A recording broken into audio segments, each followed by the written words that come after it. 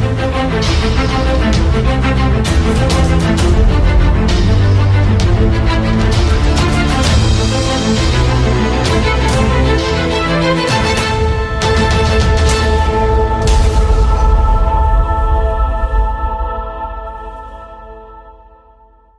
Shubharaksha, ladies and gentlemen, put your hands together for Shubharaksha.